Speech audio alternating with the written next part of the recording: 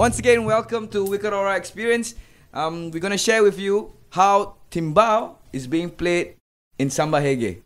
So this is how the most basic way to play.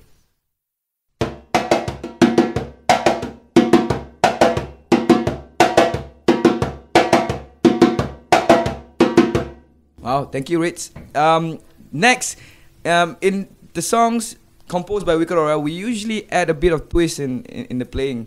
One of the things that we often choose is to put a flam in our timbal phrases. So this is how a flam sounds like with the left hand leading. So two, three, four. So you will have a bass tone on your left hand and then a sweet tone on your right hand. One more time, two, three, four. And in a samba reggae, take it away, bro.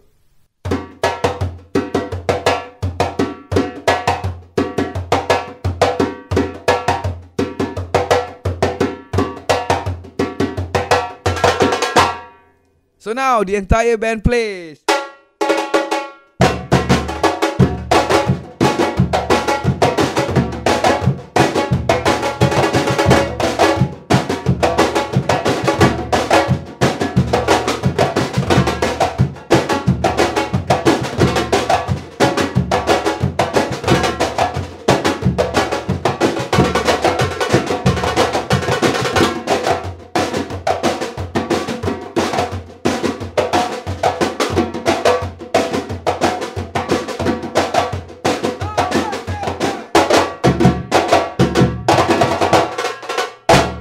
Thank you. We want to thank Brasilando.sg for the drums, and we'll see you on the social media platform. Most importantly, catch our YouTube. Ciao, ciao. Subscribe. Subscribe.